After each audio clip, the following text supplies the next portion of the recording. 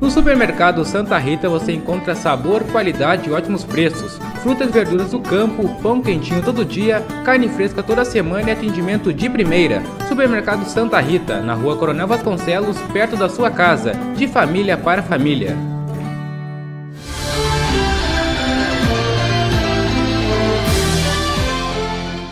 Uma ação conjunta entre a Polícia Rodoviária Federal e a Receita Federal resultou na apreensão de 20 quilos de cocaína e 1 quilo de crack na manhã do sábado em Rio Grande. Conforme a PRF, dentro do veículo corta com placas de Xanxerê, Santa Catarina, também foram encontrados, além das drogas, mais de 100 mil reais em dinheiro. Um jovem de 22 anos que conduziu o veículo foi abordado no quilômetro 46 da BR-392. Enquanto os policiais realizavam uma vistoria, o jovem que não foi identificado fugiu para um banhado às margens da rodovia, sendo preso logo em seguida pelos policiais.